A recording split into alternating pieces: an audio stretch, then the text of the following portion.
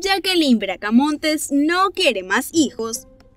A pocos meses de dar a luz a sus gemelas Paula y Emilia, la actriz Jacqueline Bracamontes está decidida a no tener más hijos y confesó las medidas que tomó para lograrlo. En una entrevista al ser madrina de la obra de teatro El beso de la mujer araña, protagonizada por la talentosa actriz Chantal Andere, la también conductora reveló la dinámica familiar con la llegada de las nuevas integrantes al hogar. La ex reina de belleza compartió cómo sus hijas se relacionan con sus hermanitas. Locura, no es una locura mi casa, la verdad, una locura bonita, en el buen sentido, pero la verdad es que sí, imagínense, no es lo mismo tener a dos gemelitas y encargarte de ellas, pero luego tener a tres encima de ti. Mamá, mamá, me cambias, mamá, mamá, quiero jugar, mamá, espérenme, estoy con sus hermanas, estoy.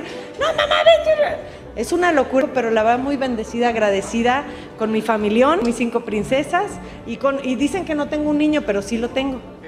Es Martín. Recordemos que Martín Fuentes, esposo de Jackie, anunció en redes sociales el pasado 20 de diciembre que las bebés habían nacido aun cuando era conocido que se enfrentaban a un embarazo de alto riesgo. ¿Va a haber posibilidad de aventarse el pilón o que algo se fil? Conmigo no, ya estoy operada. no, pero ya le dije, oye, tú también opérate porque luego he escuchado de casos que se opera la mujer y aún así queda. No, cállate los dos. ¿Es en serio? No, ya, voy a presionar porque no, me muero. Bracamontes es una actriz, presentadora y modelo mexicana ganadora del concurso nacional Nuestra Belleza México en el año 2000 y concursó en Miss Universo 2001. Cuando regresó a México comenzó a trabajar como modelo para algunas revistas de moda juveniles. También inició actividades como modelo profesional en Guadalajara, realizando varios comerciales para televisión así como foto fija y de pasarela.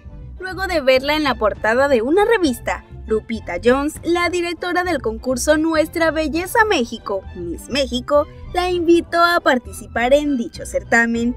En el 2008, protagonizó la telenovela de comedia Las tontas no van al cielo, al lado de Jaime Camil y Valentino Lanús, además de conducir el programa de televisión de Por Vida, en 2009 estelarizó Sortilegio, la nueva versión de la telenovela Tuvo Nadie, que en 1985 protagonizó Lucía Méndez, ahora bajo la producción de Carla Estrada junto a William Levy. Gracias por visitarnos. Manita arriba y comparte si te gustó el video. Deja tu comentario aquí abajo. Síguenos en nuestras redes sociales para no perderte de concursos divertidísimos y contenido exclusivo.